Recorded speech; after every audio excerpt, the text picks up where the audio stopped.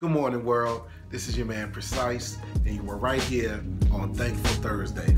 Let me know what you're thankful for in the comments, and if you find value with these videos, please share them with your friends and your family. And if you're watching on YouTube, like and subscribe. How's everybody doing today? It's another beautiful day. Uh, December came back today like uh, you didn't forget it was December, did you? That's how we do in Chicago. We'll have uh, 60 degrees one day and below zero the next day, and that's just how stuff goes. Anyway, I want to talk to you about being empowered. Now, so many of us, we find ourselves in these moments where we feel like everything is out of our control.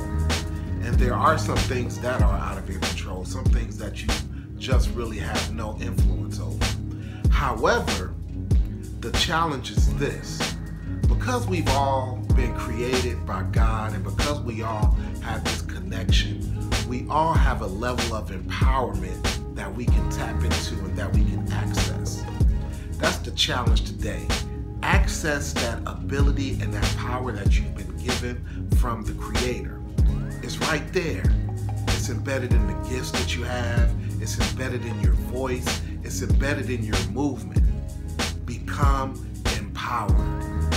A Tribe Called Fit is here with you on this journey. We will not leave you behind.